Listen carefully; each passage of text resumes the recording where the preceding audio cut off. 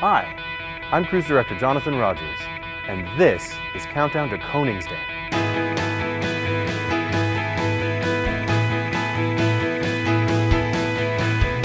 Welcome. I'm really proud to be a part of the crew serving aboard the newest ship in the Holland America Line fleet.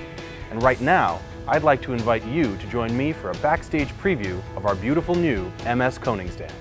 Today it's all about entertainment with this Koningsdam update from Holland America Line Entertainment Director Bill Prince.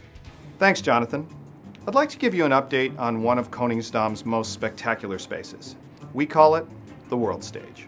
This time, we'll not only offer a traditional theater experience, but we'll also be able to perform in the round for the first time.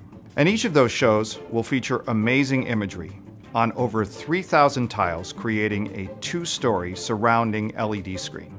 And the imagery on the LED screens is being created for us by Tony Award winning designers. They've just returned from the manufacturers where they did the initial testing, and everything looks to be a huge success. World Stage will be a game changer for entertainment on Holland America Line, and unique in the cruise industry. And it's just one of the many exciting entertainment options we have coming up on Koningsdam, and I'll be telling you more about those soon.